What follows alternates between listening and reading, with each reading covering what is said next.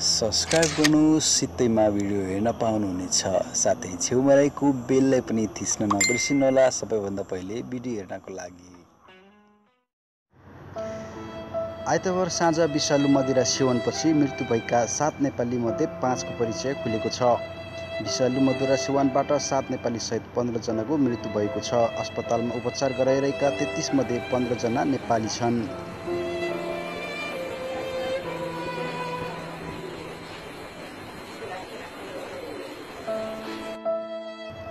कोलालमपुरको सुनगाई पुलो गोमा काजाङ कलाङ र शाह आलम क्षेत्रमा मदिरा सेवन गरी बिरामी परेका अडचालिसमध्ये पन्ध्रको मृत्यु भएको हो।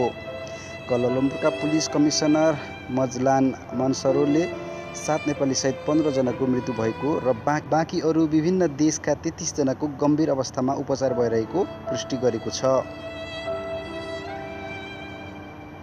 मृत्यु हुने नेपालीहरू निम्नअनुसार रहेका छन्। आइता सिङ्गोले सर्लाही भीषणबाबु कार्की सोताङ सोलुखुम्बु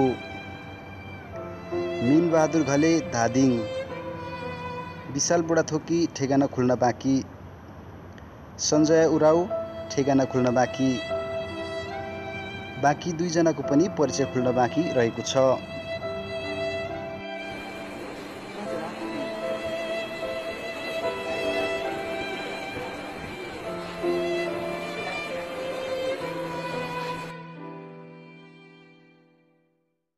अस्पतालमा उपचाररत बिरामीका अनुसार उनीहरूले कालाङ क्षेत्रका विभिन्न पसलबाट ह्यान्डले विस्की किङफिसर बियर र ग्रान्ड रोयल विस्की सेवन गरेका थिए। अस्पतालमा उपचाररत बिरामीका बिरामीमा बान्ता आउने र सस फेर्न गाह्रो हुने समस्या देखिएको छ।